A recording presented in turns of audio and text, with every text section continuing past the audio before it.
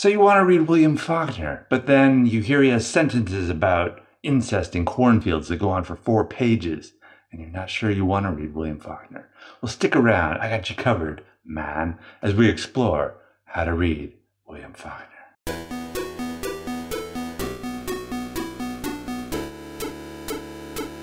All right, so Faulkner wrote a lot of different things. He wrote short stories, he wrote screenplays for movies, he did uh, a lot of different things, articles, but he was most well known for his novels. And the, if you know the Library of America, that, that uh, publishing company, they have put together a nice chronological collection of his novels from his earliest ones in the 20s to his latest ones in the early 60s, I believe. So you may be tempted to read those chronologically. Don't. Why not? Because the first three novels, Soldier's Pay, Mosquitoes, and uh, Sartoris, which was later published in a less uh, less edited form as Flags in the Dust. Those three novels I don't consider quite at the quite the same level as uh, middle to late era Faulkner that we're going to look at. So I wouldn't say start there. I would say save those until if you really want all of Faulkner later on, you can come back to those. But uh, I think you know a lot of Faulkner's stories take place in this fictitious county called Yoknapatawpha County in Mississippi. And the first one to use that location is Sartoris. I think they called it Yakna, something else like a shorter version, but it was the same setting basically. And there were some characters. There are characters throughout his novels that show up again and again in different ways. Sometimes a major character will become a minor character in another story. That's just how he works. So you may be tempted to start with Sartoris because, or Flags in the Dust, because that's where the that county begins and that universe begins. But I would not suggest doing that.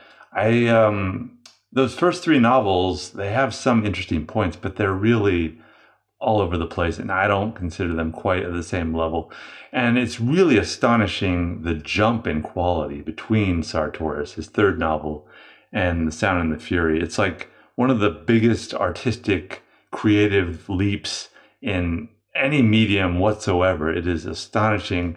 And The Sound and the Fury is one of his best, if not his best novels. And it's tempting to say that, yeah, you can start with The Sound and the Fury. My only caution about doing that is that The Sound and the Fury is a very difficult and challenging book. And there are easier novels by Faulkner that are still pretty good. And, uh, you know, they may not be quite Sound and the Fury level, but they're still pretty great.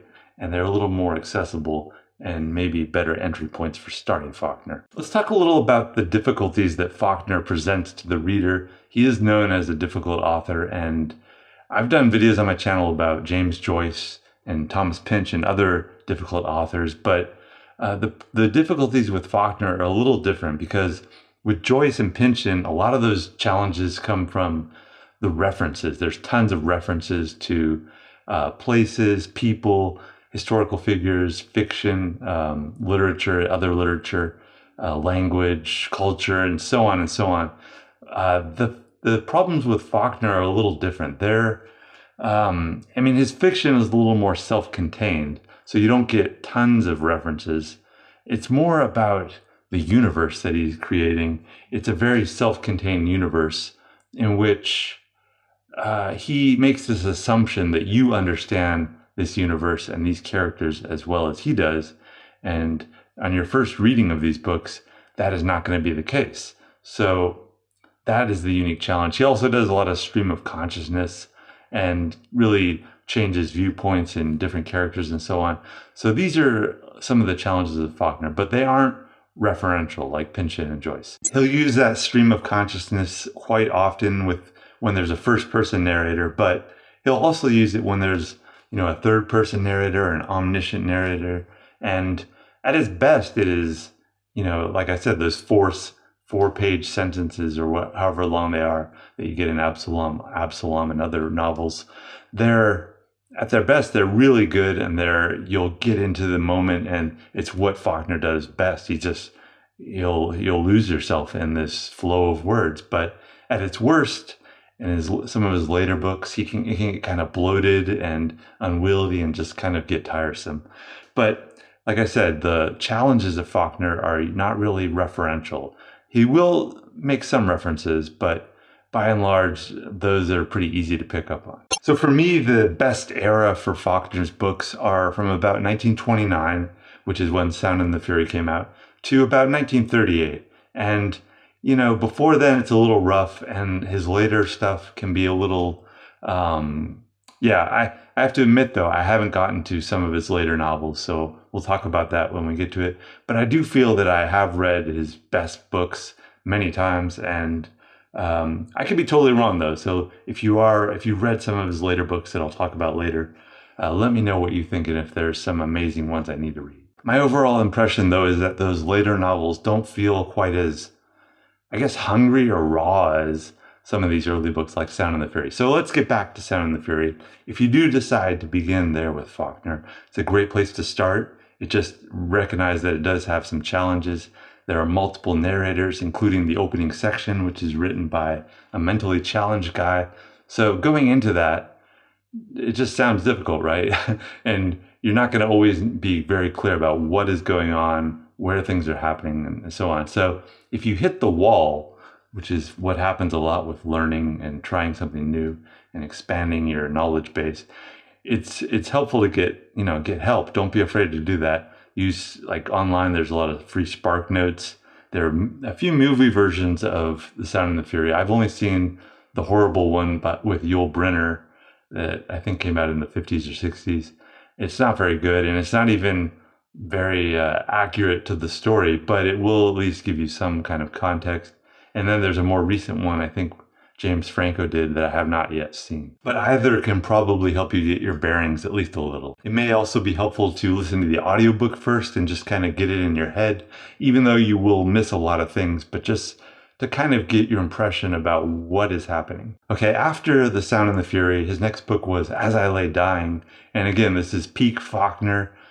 In some ways, it's a little easier, maybe just a, a hair easier than The Sound and the Fury. This does also have multiple narrators and um, a lot of stream of consciousness. And yeah, I think for the most part, get some help with this one as well. And although it is just a slight fraction easier than The Sound and the Fury, you're still likely to get lost without help. So don't be afraid to read it again.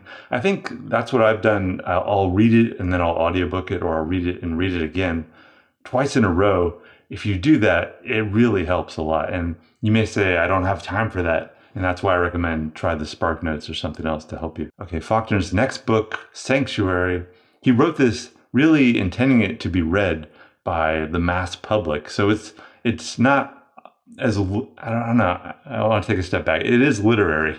It's just not quite as challenging. You know, it's it's meant to be a little more digestible, and I think uh, it was very popular, and I think it was one of his best selling ones. And I think it's still a pretty great novel. And I would recommend this as a great starting place for Faulkner because it doesn't have all those challenges that I talked about with Sound and the Fury and As I Lay Dying. It's a little more straightforward and uh, it's still a great book. And I think it will pique your interest to read more Faulkner. Next book is Light in August. And this, uh, Oprah, when she did her kind of summer of Faulkner thing, the three novels that she included were Sound and the Fury, as I Lay Dying, and this one, Light in August. And I think this is Faulkner's longest novel. And because of that, it's a little, I found it a little, you know, uneven. There were some really great parts, but then there were parts where I felt like Faulkner kind of lost the flow of it. But I think it still has a lot to offer. I just wouldn't necessarily say it's a good place to start because it is so, uh, such a long novel. Next book is Pylon, and I barely remember this. I know I read it, but I found it pretty forgettable, and I don't recommend you start here or even, you know, you can skip this one. All right, after this came Absalom, Absalom, and this is, uh, you know, the Sound and the Fury is kind of early raw energy Faulkner of him really getting his bearings and mastering storytelling. Then Absalom, Absalom is when Faulkner really starts to get mastery of things and enter this almost ornate Baroque era, and it's um, this is definitely one of his best books, one of his most challenging as well. So I would not say begin here, but if you are going for Faulkner's best books, you have to read this one. It is a wonderful book. I've read it multiple times and audiobooked it and just go through it over and over because there's so much going on. And yes, get some help. A lot of times uh, you'll see family trees. I mean, his characters are so, there's so many characters and things going on that with a lot of books, there will include a family tree. So do that. Look for those family trees online. You can find them for his different clans that he includes. Uh, all the different families, the Sartoris family, the Compsons, the the Snopes family, and so on. There's a lot of different family trees, and you should check those out. Absalom, Absalom as well. You need a family tree. Okay, the next book is almost a step back from that intense, ornate baroqueness that I was talking about with Absalom, Absalom.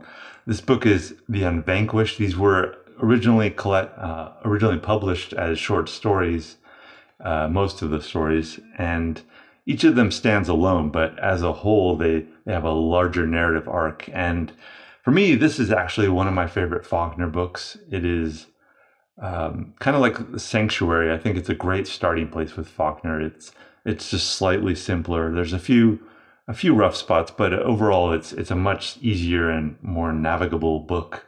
Is that a word, navigable? and uh, more accessible book, more clearly defined or easy to find the characters, I guess. Yeah, so like for starting with Faulkner, two great books to start with.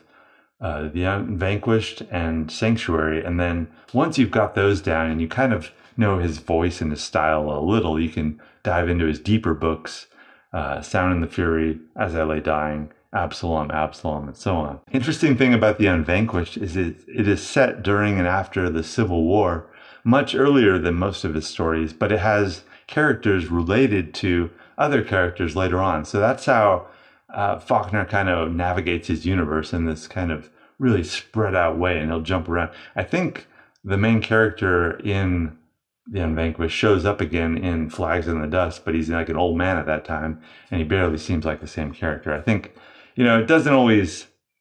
I feel like some, sometimes Faulkner doesn't always, you know, get the characterization quite right because he's writing characters sometimes like 20, 30 years after he first wrote them. So it's they can be a little different, but um, I admire at least the the scope and the attempt uh, that he does, and when he gets it right, it's just amazing. Okay, so I consider that sort of the end of Faulkner's really great era, and he did write some wonderful things after that, but I just find a lot of it like I said, he he had kind of established himself at that point. He was well known. He was writing Hollywood screenplays and um, pretty comfortable in life.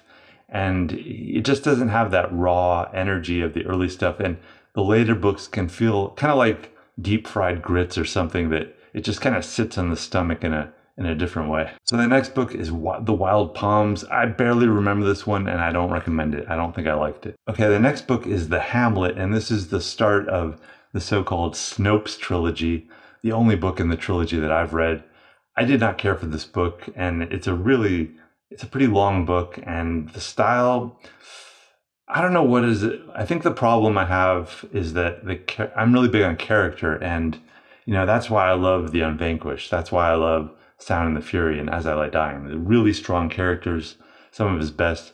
With the Snopes characters, I don't know. I just don't like the characters. They don't feel very memorable or meaningful to me. But maybe I just I'm just not giving it a fair shake. Maybe I'll try again with the other two books. Who knows? But for now, I can't recommend The Hamlet. Aside from that, the only other late era Faulkner books I've read are Knight's Gambit, which I liked quite a bit. It's a short story collection featuring uh, I can't remember the guy's name. He's like a lawyer, and I thought it was one of his. Uh, you know, it's it's it's more moderate Faulkner. It's not all twisty and meant to confuse you. I mean, I don't think he he tries to confuse you. It's just that he tries to emulate human thought and consciousness, and that's just how it sometimes is within our own minds. Things can get kind of. Uh, if somebody else looked into your mind, they'd have no idea what you're referring to and all these things that are going on. So, Knight's Gambit, Unvanquished, Sanctuary, I think are much more accessible, but still pretty great Faulkner. And then the other book that I've read in his late era is Go Down Moses. And this one, I can't say I totally followed it and understood it, but what I did follow and understand, I liked quite a bit. And I would like to go back and read it again. All right, later Faulkner, like um, Intruder in the Dust, Requiem for a Nun, A Fable, The Town and the Mansion, and The Reivers. I have not read any of those, so if you've read those, let me know what you think. Faulkner also wrote a lot of short stories. There's a big short story collection. I just want to say that there are some stories in there that are pretty good Faulkner and I can recommend, but there's also stories that I don't recommend it and I don't like. It's a very uneven book. It just goes all over the place. So I would again hold off on that until you've read the great books that I have mentioned. I think that's all I really have to say about Faulkner right now. And if you have some thoughts, of course, let me know in the comments below. And if you want more of me talking about obnoxiously difficult books, I've done a playlist on James Joyce's Ulysses. I'm doing one now on James Joyce's Finnegans Wake.